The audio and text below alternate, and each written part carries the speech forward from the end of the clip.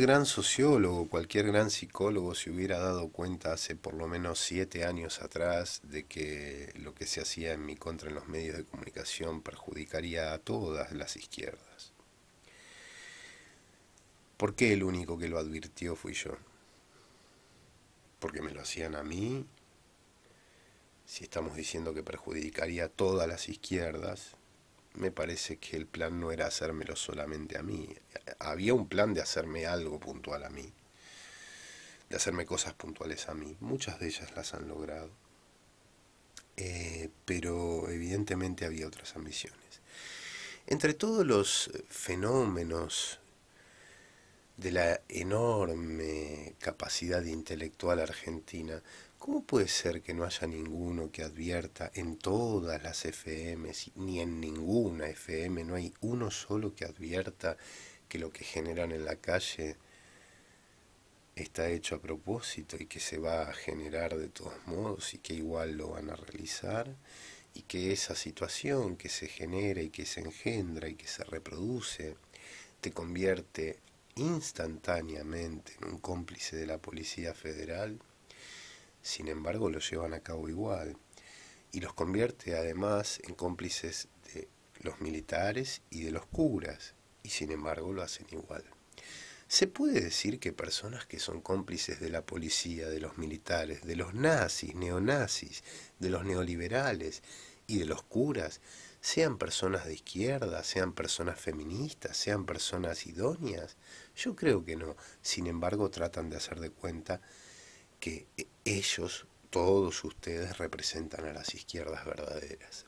A mí me parece que están en una enajenación cultural, porque yo no he visto en mi vida entera, y tengo 44 años, gente tan bruta, tan ignorante y tan incapaz. No lo he visto nunca, jamás.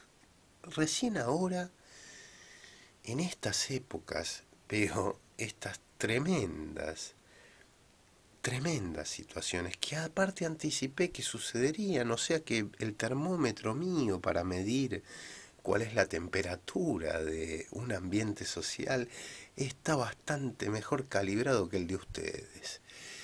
Y por otro lado, y por otro lado, todavía se ríen, todavía lo viven con alegría. Cada vez que pueden hacer una guachada en mi contra lo viven con alegría. No les da, ni siquiera les da tristeza lo que han hecho con un país entero y con otras naciones que han participado de un mismo accionar y han terminado con gobiernos de derecha también, porque esto pasó a nivel nacional e internacional. Todavía siguen en la ignorancia y en la hijaputez de tratar de hacer de cuenta que no está correlacionado lo que claramente está correlacionado. Si eso no es el máximo de la mezquindad política y de la mezquindad intelectual, bueno, difícilmente exista algo comparable. Ahora, entre todos ustedes, garantistas de la libertad de expresión, hace 15 años que no me dejan hablar en un solo medio de comunicación y todos los medios de comunicación tienen títulos de programa y esquemas de programa que me han robado ustedes a mí porque no existe, en la grilla total de la radio de FM no existe un solo dial que no tenga o alguna acción de acoso en mi contra o alguna acción de plagio en mi contra. Y esto viene desde hace años, no viene de ahora, viene desde hace más de una década. Ahora, lo curioso del tema, lo curioso del caso, cosa que ocurre también en el universo político, de los discursos políticos y de ciertas ideas, donde también viven de chorearme, durante mucho tiempo. Lo curioso de todo esto es que tampoco les importa lo que significa. Es decir, no hay ningún estudio sobre lo que eso significa hecho por ustedes. El significado de eso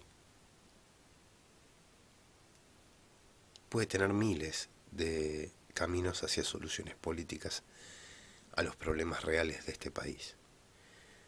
Y ustedes son científicos tan loables que ni siquiera se han dado cuenta de lo que se hubiese dado cuenta cualquier científico.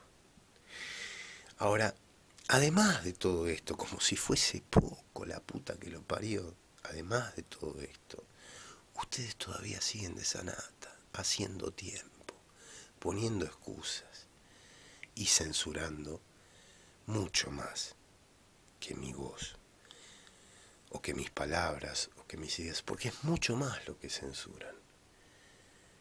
Eh, hoy por hoy, constituidos ustedes como brazo criminal, sicarial, mercenario, que asesina ideas políticas y personas, solo por tener ideas políticas, ustedes asesinan a personas.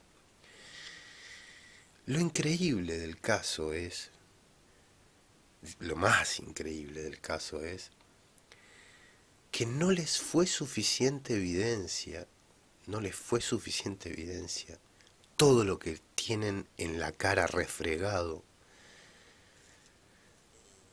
Realmente es muy difícil creer, es muy difícil confiar en que ustedes alguna vez le hagan algún bien a alguna parte de la humanidad.